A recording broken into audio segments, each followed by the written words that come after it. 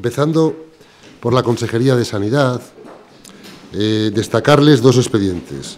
El primero es una inversión eh, de cerca de un millón de euros que se utilizará para cubrir los gastos de mantenimiento del acelerador lineal del complejo asistencial universitario de León.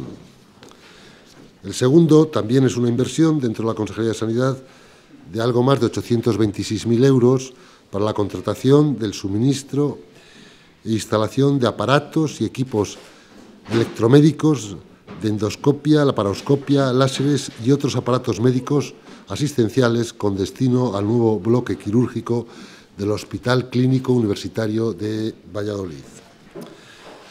Cambiando de consejería y pasando a la Consejería de Fomento y Medio Ambiente, tres expedientes. El primero es un, un decreto, hemos aprobado un decreto por el que se modifica el proyecto regional de la ciudad de medio ambiente. Saben ustedes que eh, el Tribunal de lo Contencioso nos exigía, a través de una sentencia, adecuar la realidad a la normativa urbanística y es lo que hace este decreto, que hemos aprobado en la mañana de hoy.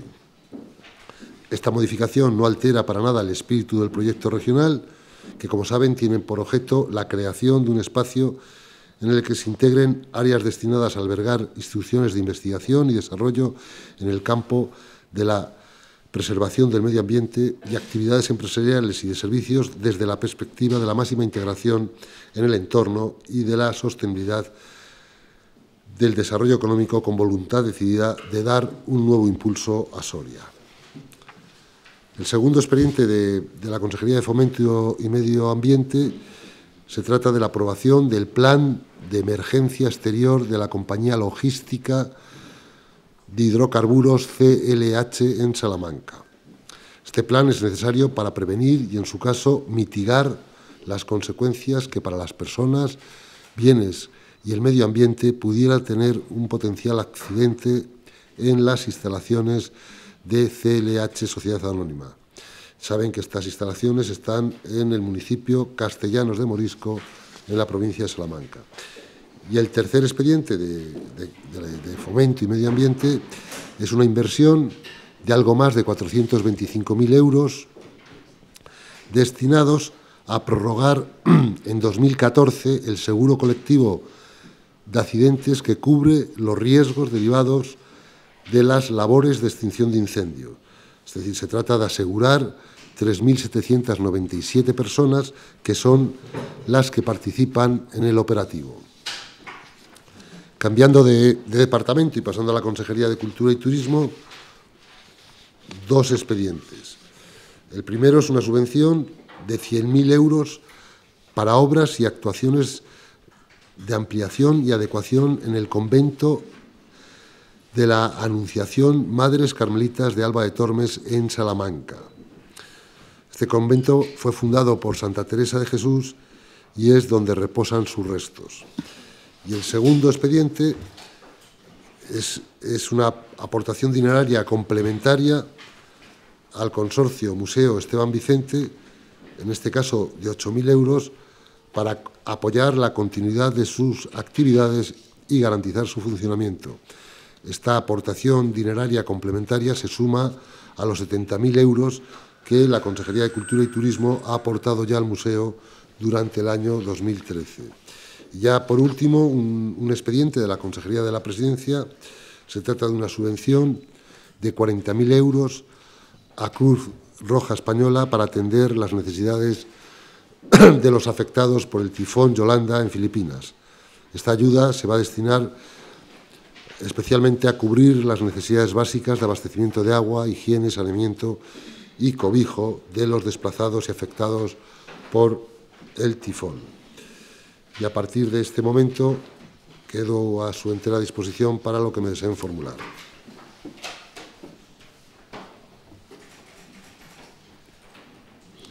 Ayer en las Cortes la consejera de Hacienda eh, pidió establecer una especie de pacto de comunidad para evitar la subasta de, dijo, de, tributos en, en, las comunidades autónomas. Yo no sé si eh, está establecida una mecánica, será sobre un documento que prepare la propia Junta a través de la Consejería, si va a ser una labor parlamentaria, si tienen decidido qué fórmula van a buscar para lograr esta postura de comunidad. Sí, pero yo creo que lo marcó eh, el pacto fiscal, eh, la reforma fiscal lo marcó en el modelo de financiación autonómica.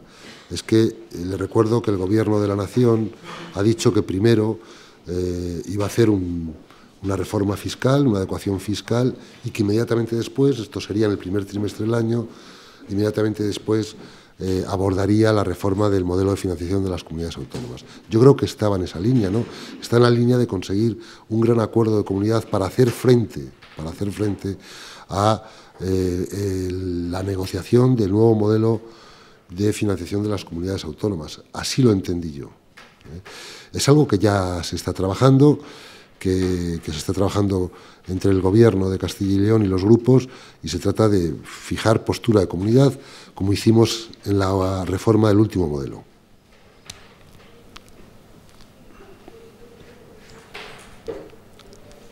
Durante ese mismo pleno, el portavoz del Grupo Socialista llamó a, pidió reformar el estatuto para fijar un suelo de gasto social. No sé qué le parece a la Junta y si estaría dispuesta. El PP ya dijo que no. Bueno, no, no está en la agenda ¿no? de la Junta, ya lo saben ustedes, no está en la agenda de la Junta. Pero lo que sí que está en la agenda de la Junta es, y así lo ha ofrecido el presidente Herrera, si no recuerdo mal, ya en dos o tres ocasiones, es llegar a un acuerdo para blindar los servicios públicos esenciales. Eso no es nuevo. Yo creo que hasta en tres ocasiones lo, eh, lo ha ofrecido el presidente Herrera, el blindar los servicios públicos esenciales a través de un acuerdo político. Es decir, si lo que plantea el, portavoz del Grupo Socialista, Óscar López, eh, es el blindaje de los servicios públicos, el garantizar, mire, eso no es nuevo, lo, ha ofrecido el presidente Herrera y lo hemos intentado. ¿eh? Lo hemos intentado en más de una ocasión. Yo al menos he estado en alguna negociación, pero claro, hay que blindar los gastos y los ingresos. No solo se pueden blindar los gastos, sino también los ingresos. Saber qué ingresos hay y cómo dedicamos esos ingresos al mantenimiento de los servicios públicos esenciales. Insisto, si hacen ustedes memoria, yo creo que hace tres años ya lo propuso el presidente Herrera. Pero para eso no se requiere una reforma del estatuto. Eso, la vía de la reforma del estatuto... No, no está en la agenda. Mire, vamos a ver, eh, el estatuto es nuestra pequeña constitución. Eh, yo creo que somos la última comunidad que ha reformado el estatuto de autonomía. El estatuto de autonomía eh, no hay que tener miedo a reformarle. En Castilla y León se ha reformado exactamente tres veces.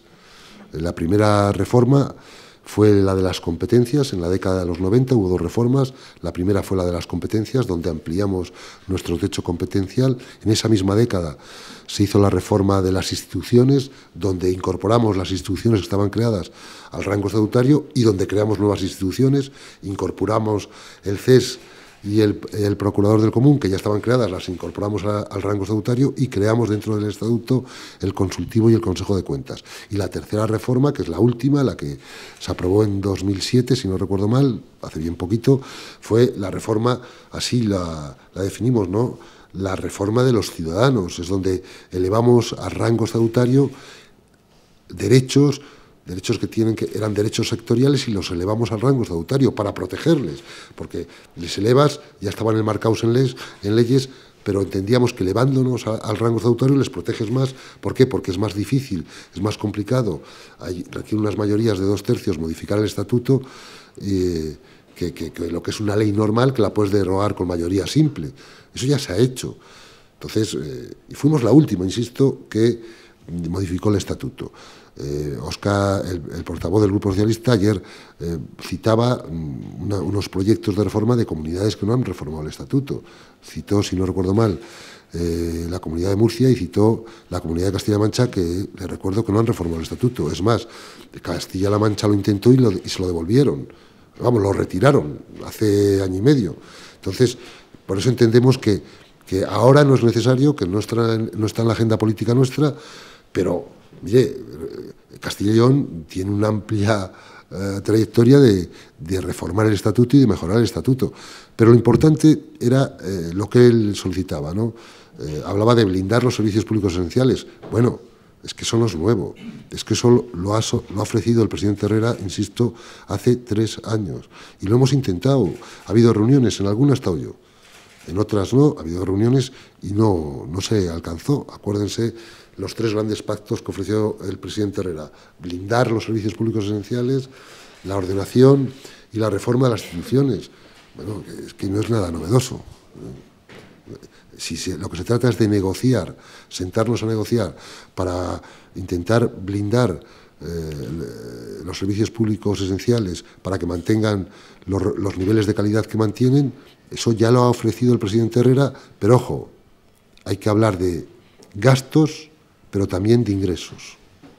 Dos preguntas. Acabamos de saber por una nota de prensa de Renault que José Vicente de los Mozos va a seguir siendo el presidente de Renault España. No sé qué valoración hace la Junta. Y luego la otra pregunta, hablaba usted de los ingresos. Eh, en el primer trimestre del año que viene el, Gobierno va a trabajar en un, nuevo sistema tributario. No sé si la Junta ya tiene una idea de por dónde debería ir o cuáles serían sus propuestas. Vamos a ver, en cuanto al, al presidente de los Mozos, es una magnífica idea que siga de presidente, es todo lo que la puedo decir. Es fantástico ¿no? que siga el presidente de los mozos con... Es más, eh, les puedo decir que hace media hora se entrevistaba con el presidente Herrera eh, al acabar el Consejo de Gobierno. ¿no? Es una magnífica eh, noticia para Castilla y León y para España. Y la segunda pregunta, que, el sistema tributario, el gobierno, además del modelo de financiación, también va a trabajar en, un, la modificación del sistema tributario. Sí, es previo. Para el tema de los ingresos. No sé si la Junta tendría una propuesta de por dónde debería ir esas modificaciones, si por el IRPF, el IVA, el... Vamos a ver, eh, bueno, los ingresos todos vienen de donde vienen, no nos engañemos. Los ingresos vienen la mayoría del IRPF, del IVA y de tasas, que no hay más. No hay más. No hay, es decir, son los, los impuestos que pagamos directa e indirectamente los ciudadanos y las tasas que pagamos los ciudadanos, con eso se hacen los presupuestos, aquí y en cualquier lugar del mundo. ¿no? Eh, yo creo que antes cuando contestaba, me hacía una pregunta a su compañero, iba en esa línea, ¿no? Es decir, eh, fijar posición de comunidad no solo, porque ahí lo tenemos muy fácil, eh, en cuanto al modelo de financiación, lo tenemos fácil. La posición de la comunidad es la recogida en el estatuto, que tenga, que se pondere adecuadamente la dispersión, la baja densidad, la despoblación y el envejecimiento, porque cuando se dan esas características, prestar servicios esenciales es mucho más caro. Ahí es fácil llegar a un acuerdo. Yo creo que el acuerdo eh, eh, que, al que se refería ayer la consejera de Hacienda era un paso más, un poco más amplio, un poco en la línea que me, de lo que me preguntaba su compañero, ¿no? Vamos a sentarnos y habrá que sentarse y habrá que ver eh, eh, en, lo relativo a la fiscalidad si somos capaces de también llevar una postura de comunidad. Sí, preguntarle por el tema del lago de Sanabria, para sí. que año que la Junta Rectora del parque no se, no se reúne y que por eso está pasando lo que está pasando con los vertidos. Yo no sé si la Junta tiene pensado atender a esos informes que se están, que se están presentando de vertidos o hacer algo. Mm, no, eh, vamos a ver, la Junta atiende a todos los informes oficiales y los informes oficiales, los oficiales, que son dos, califican la masa del agua del lago de Sanabria como en buen estado, tanto ecológico como químico, y que cumplen lo establecido en la directiva marco del agua, en la directiva europea marco del agua. ¿Cómo no vamos a hacer caso a esos informes? Pero los informes dicen esto. Mire, los controles periódicos sobre el estado y evolución de la calidad de las aguas, del lago de Sanabria, de cualquier otro, se realizan por dos organismos oficiales. Dos.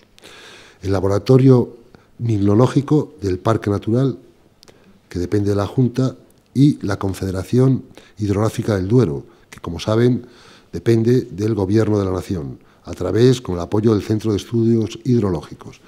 Y concluyen los dos informes que las aguas del lago de Sanabria no están contaminadas.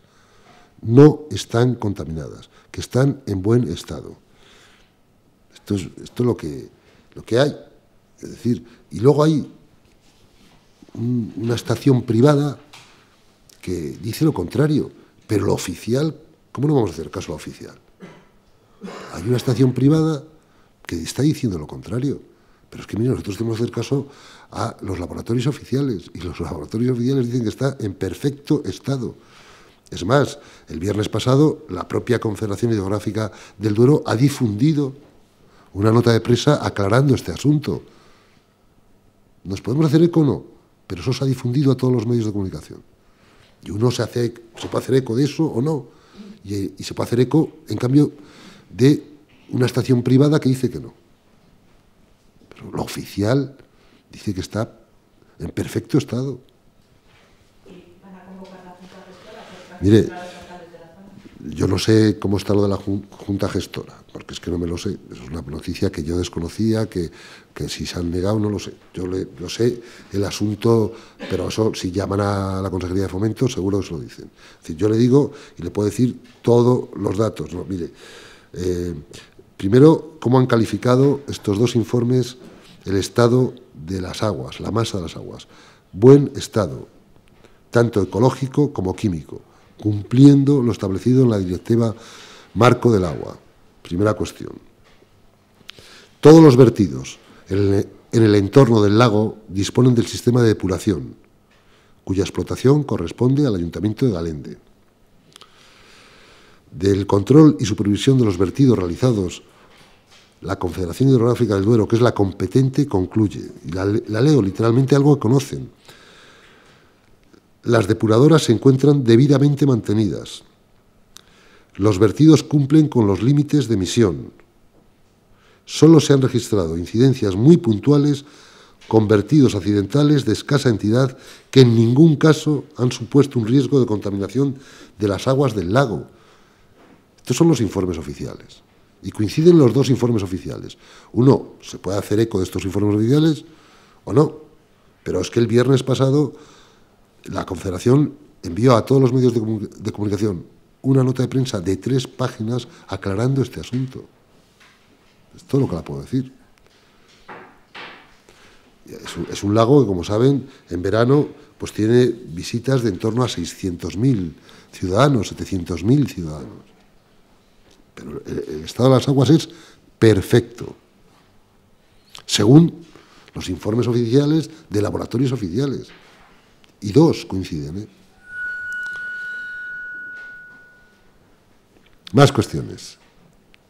Sí, quería preguntarle qué le parece a la Junta de Castilla y León la medida que ha tomado la Junta Andaluza de garantizar el agua y la luz a la gente que lo está pasando mal y que no puede pagarlo. Mire, eh, no se puede valorar una medida aislada. Es decir, eh, hay que valorar las medidas en su conjunto. Es decir, la Junta de Castilla y León está poniendo en marcha, va a poner en marcha una red para atender a las personas que lo están pasando peor con, frente a la crisis. ¿Ha hecho eso la Junta de Andalucía? No. La política prioriza.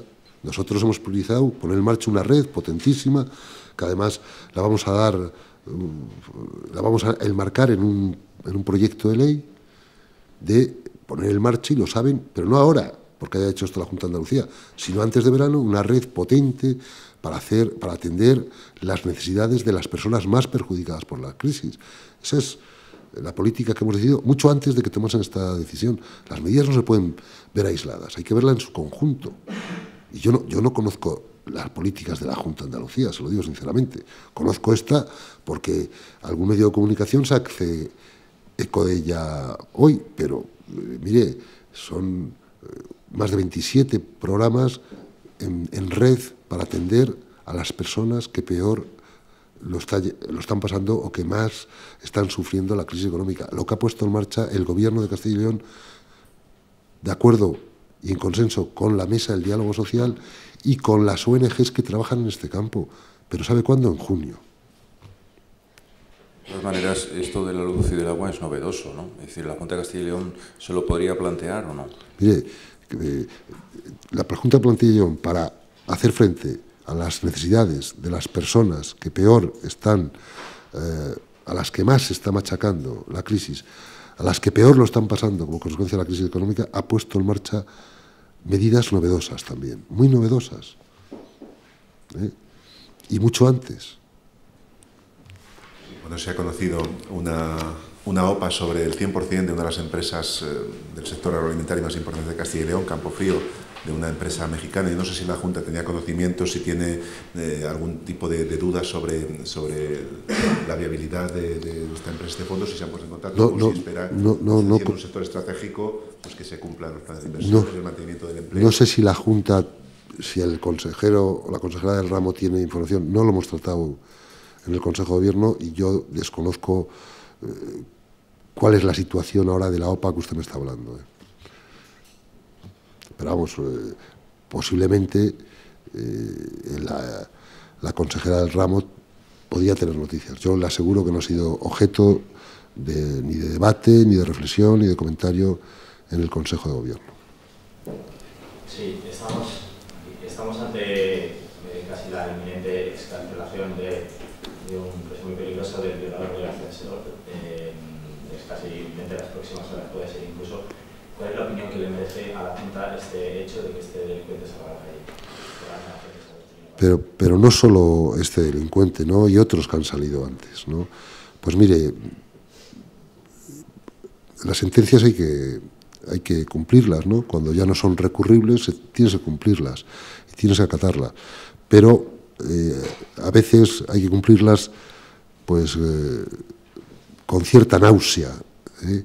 y con cierta repugnancia, ¿no? tapándose la nariz.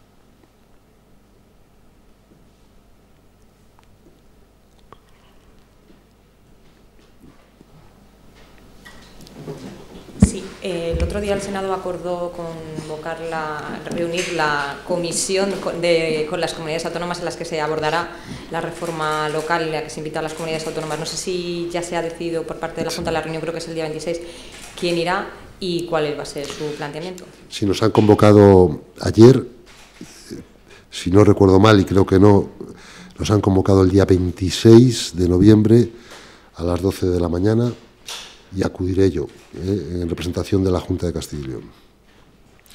Es para uno de los últimos trámites del proyecto de ley de reforma local estatal. 26 a las 12.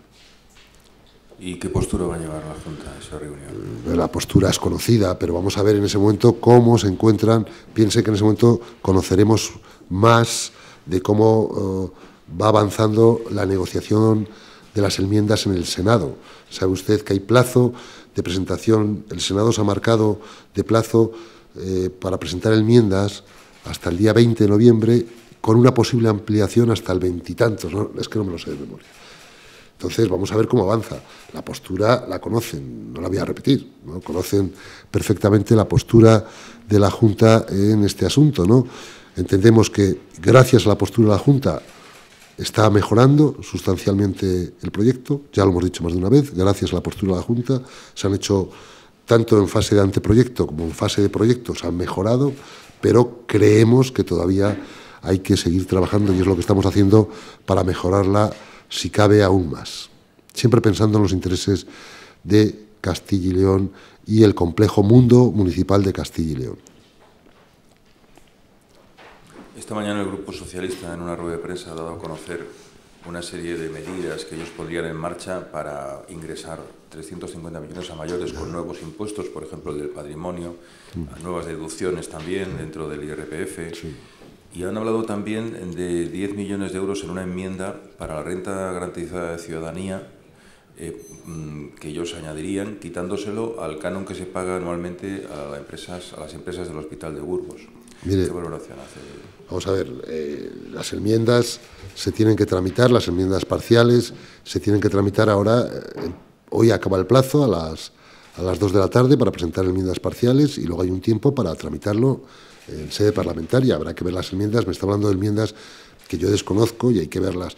Sí que conozco el nuevo modelo fiscal que ayer ya conocimos lo que opinaba el Grupo Parlamentario Popular y también vimos las contradicciones ¿no? que presenta ese modelo fiscal que, plantearon ellos en, la enmienda a la totalidad, ¿no? que curiosamente descubrimos que quieren, quieren incrementar todos los impuestos, curiosamente menos ese que denominamos el céntimo sanitario. Y descubrimos que curiosamente en la conferencia del pasado fin de semana del Partido Socialista es uno de las tasas, de los impuestos, como lo quiera llamar, que incorporan ellos a su, eh, a su nuevo marco ideológico. Esto, aquí sorber y comer es muy difícil. Es decir, usted no puede el sábado plantear una cosa en su conferencia sectorial sobre el impuesto de hidrocarburos, que le parece estupendo, y llega aquí y dice que ese es el que hay que suprimir. Pero todos los demás hay que incrementar. Mire, la política eh, de impuestos eh, y, tributaria de la Junta es conocida, la hemos presentado en la ley de presupuestos y ahora vamos a debatir las enmiendas parciales que cuando las veamos, las veamos, sobre todo el grupo, que es quien tiene que gestionarla, las podré comentar, pero yo no sé que si van a presentar una aquí y otra allá. Lógicamente, si dicen que se incremente eh, eh, un crédito en un concepto, lógicamente, si no, no puede ser, tienen que decir que disminuyan otro. Eso es el ABC de una enmienda, ¿no? Si dices, ponga 10 millones de euros más aquí, pues les tienen que sacar de aquí, pero lo tengo que ver. Pero le, digo una cosa, a lo mejor el Partido Socialista debería saber que el concepto de renta garantizada de ciudadanía es un crédito ampliable, que a lo mejor no lo saben. ¿Y qué quiere decir eso? Que aunque se acabe, se amplía, se llevan nuevos fondos para seguir pagando la renta, la nómina de la renta garantizada de ciudadanía. Es decir, es bueno que se enteren si no lo saben, ¿no? Porque es que justo ese concepto es un concepto, un subconcepto, mejor dicho, ampliable. Es decir, que quiere decir que cuando se agota se amplía automáticamente. Entonces, no tiene mucho sentido la enmienda que usted me dice que han presentado, que yo no la he visto, la tendría que ver.